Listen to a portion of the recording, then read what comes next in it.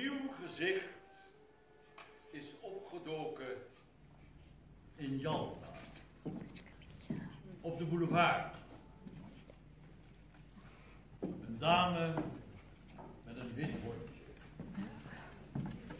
Maar iets veel gewichtigers.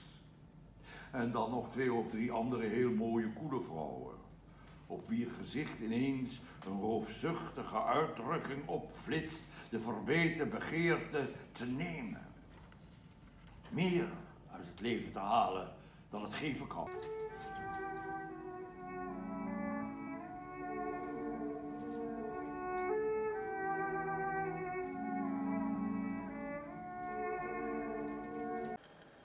Ik verlang iets beters.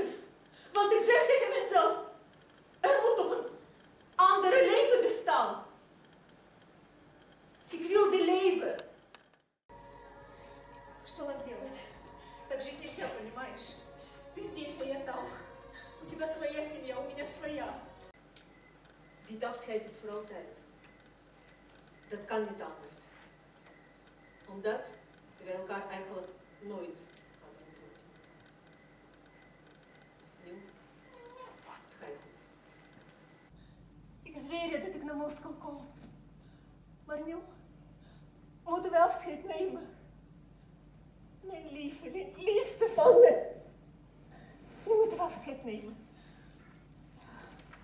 Hij echt lief.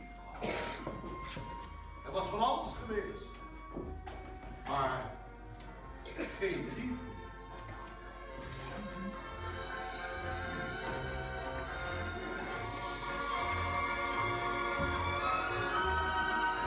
En pas nu, het grijs begint te worden, heb ik echt een werkelijk lief.